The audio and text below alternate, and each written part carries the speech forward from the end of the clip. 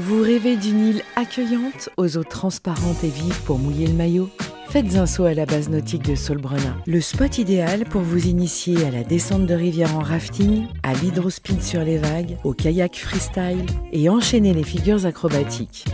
Sensation forte garantie en toute sécurité avec la rivière artificielle aménagée par CNR sur l'île de la Serre.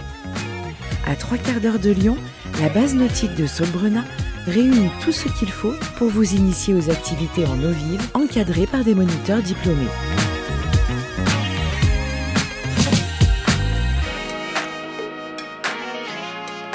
Avec CNR, premier producteur français d'énergie 100% renouvelable et aménageur des territoires, pratiquez les activités aquatiques les plus fun sur de bonnes bases.